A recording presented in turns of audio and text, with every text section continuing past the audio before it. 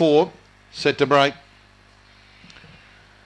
Racing, Flying Flyer left well on the rail, goes through to lead Settling from Garrick Ollivander, two Fly Man on the rail by all Mapunga Gal. Wide out Charity Wish and Seabrook Ebb the tail ender. Flying Flyer sped down the back, four lengths in front of Garrick Ollivander. Six to Charity Wish by all Mapunga Gal, well back Seabrook Ed, and last two Fly Man, but Flying Flyer's a big leader. Has the race in control on the turn, clear to Garrick Ollivander. Well back Charity Wish, but they're in the straight. Flying Flyer well out beyond the centre. A big leader from Garrick Ollivander, and Flying Flyer goes all the way. Beats Garrick Ollivander and Charity Wish. Fourth, very close. Seabrook Ed or Mapunga Gal. There won't be much in that. Clear a by all and tailing out two fly man. And the run there's an outstanding 30 and 72.